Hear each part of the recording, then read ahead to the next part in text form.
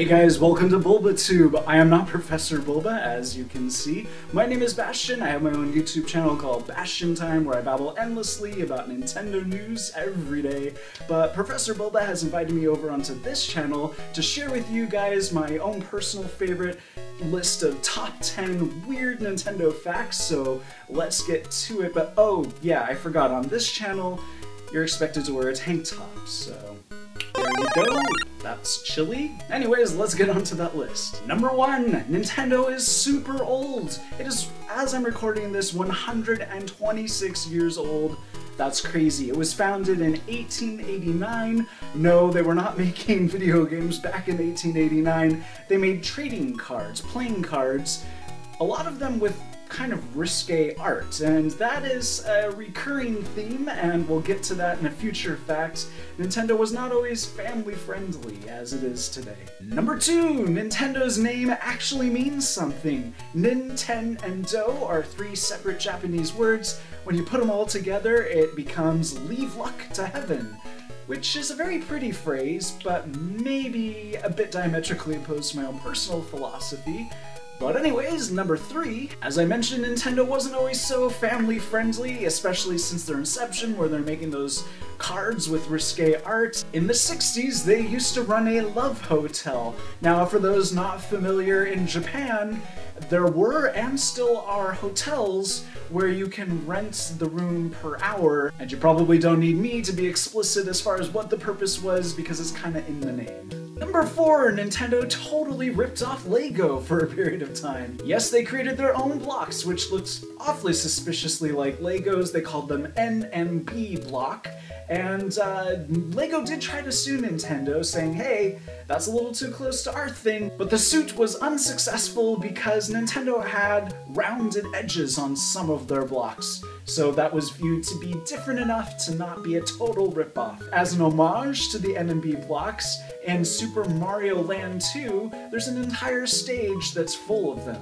Number 5! Speaking of lawsuits against Nintendo, Universal Studios at one point tried to sue Nintendo. They owned uh, King Kong at the time, and they felt like Donkey Kong, when it first came out, a little too similar in concept to King Kong, so they tried to sue Nintendo. Nintendo's American lawyer, John Kirby, won the lawsuit saying, at this point, King Kong is in public domain. Nintendo was so pleased with Mr. Kirby that they went ahead and gave him a sailboat called Donkey Kong and gave him the exclusive rights to be the only person in the world to have a sailboat called Donkey Kong.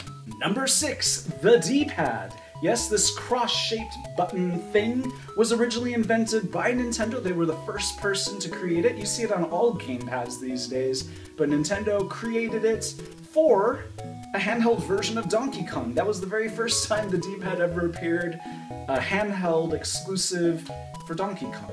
Number seven, Nintendo owns a baseball team. They own the Seattle Mariners. They bought it in 1992 because Nintendo of America's headquarters is close enough to Seattle, and I guess they just really felt like they needed a baseball team. People thought that they might change the mascot to something like Mario or whatever, but no, they kept the mascot exactly the same.